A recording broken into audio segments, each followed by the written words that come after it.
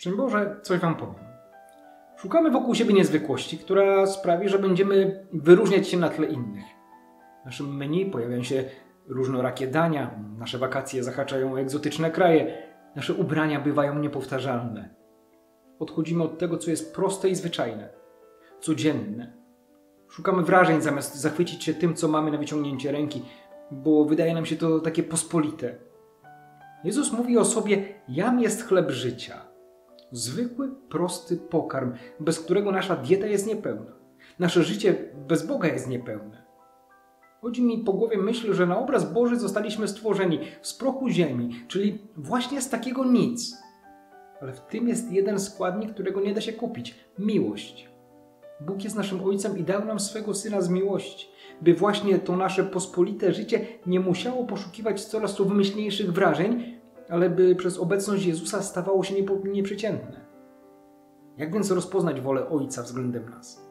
Jak w swoim życiu odkrywać i łączyć te elementy boskie z ludzkimi? My często zatrzymujemy się tylko na tym, co widzimy i słyszymy, ale są też w nas inne pragnienia. Albert Einstein powiedział: Tam, gdzie jest miłość, nie ma narzucania drugiej osobie swojej woli. Ojciec nie wymaga. Ojciec nie każe nam tak czy inaczej działać. On zaprasza nas do przyjęcia jego propozycji. Karmi nas sobą, byśmy nie poddali się zniechęceniu. Kiedy przyjmujemy komunię świętą, to dzieje się tak, jakbyśmy z umiłowanym uczniem Jezusa spoczywali na jego piersi. Przyjmując komunię, nie tylko przyjmujemy Jezusa do swojego serca, ale sami jesteśmy włożeni w jego serce.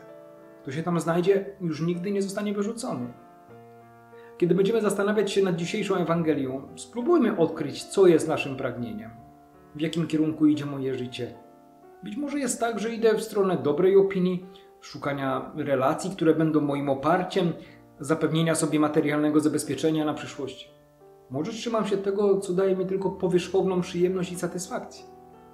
A serce w dalszym ciągu jest niespełnione.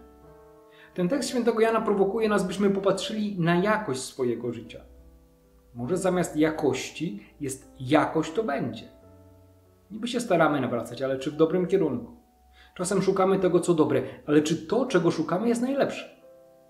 Tu nie chodzi o piękno, o zachwyt, o większy wysiłek, ale chodzi o to, by bardziej być przy Bogu i z Bogiem się liczyć.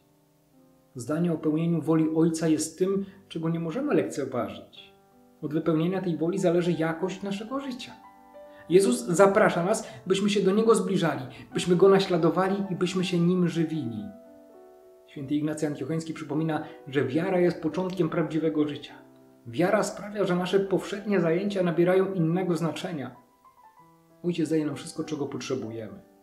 Musimy tylko zajrzeć w głąb siebie, żeby to odkryć.